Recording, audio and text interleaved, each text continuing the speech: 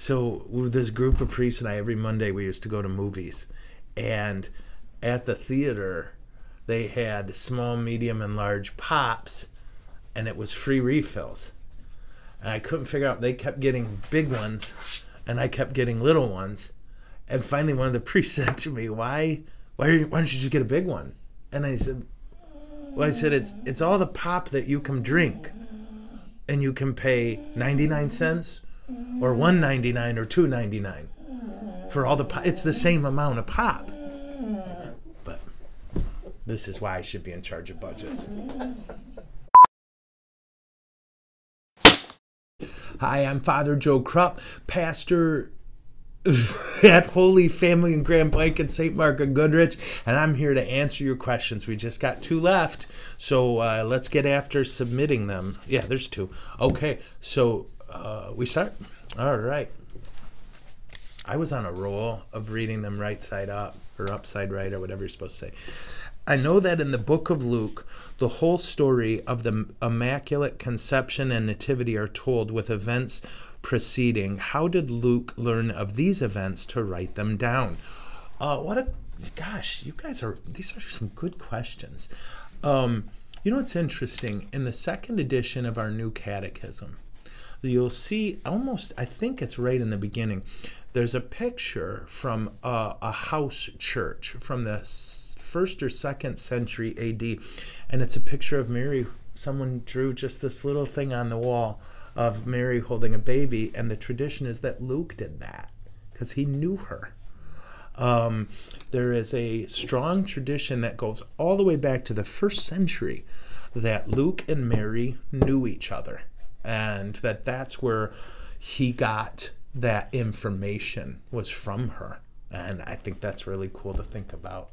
Um, so, great question. Did I answer it? Yeah. Uh, so, how did he learn about these events? M- Mama told him. He sat down with Mary and uh, wrote them down. And I think that's really cool. Um, okay. Oh, sweet, fancy Moses. All right.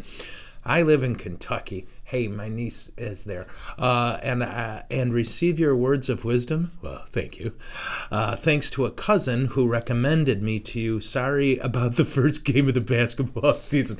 Okay, you were starting to be my favorite, and then you brought up you guys curb stomping us. All right. Uh, my question: If a person goes to the Saturday vigil and then also goes to Mass Sunday morning, can they receive communion at both Masses since technically the Saturday Vigil Mass is really a Sunday Mass? Yeah, yeah, and you're you're right on all counts. So uh, for the church, you could put it this way: Sunday starts at four o'clock on Saturday. Okay, and um, so when you go to Mass Saturday night and Sunday morning, they are typically the same Mass in terms of the readings and the prayers and the homily. Um, although it's funny, I always tell my Saturday Mass people, you're my experiment. Like while I'm preaching, I'm watching their faces, and if it looks like they're dying a little, I, I, go, well, we better work on that homily. Um, but. Uh, yeah, can you go to both? Absolutely.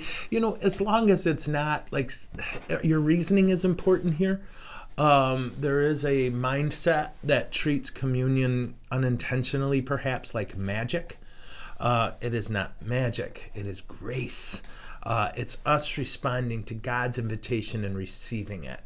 The communion we received Saturday uh, is sufficient. Um, so it's not a matter of quote unquote stockpiling grace. Like, I, I know this sounds funny to some of you, but I've had people say, well, I get more grace that way. that's I, I hope you hear me say that doesn't that's not how it works right? If you go because you want to worship our lord and receive him oh praise god. But if you're going to kind of get more that's not the right mindset. I hope i'm making sense. Is this making sense? Yes? Okay. Um so anyway, congratulations. Uh, you guys won fair and square, and uh, I'm going to file that away. And uh, thank you for this question. Is this our first one from Kentucky that we know of?